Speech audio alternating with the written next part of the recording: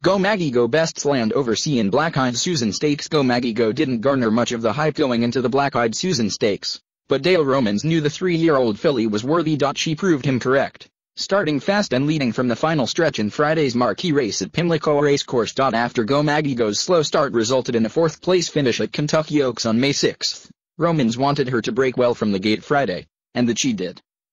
On just two weeks rest, she won the 1 1 8 mile race by two one half lengths in just her fifth career start. This is a different filly, Romans said.